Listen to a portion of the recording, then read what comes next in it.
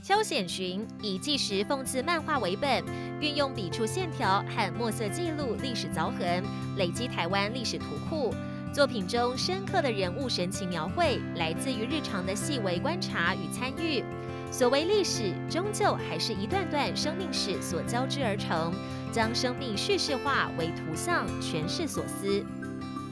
手绘台湾关键字，话说一九四零到二零二零，共收录一百八十四幅历史讽刺画，三百零二个重要关键字，刻画曾在台湾这座小岛里发生的种种深刻、严肃或者哀伤的故事。敏感一点的读者翻了几页，就能辨认出作者在作品里流淌的讽刺漫画的写意。不过，不同于三年前全然的以回望的姿态创作，这次他画的历史离我们很近。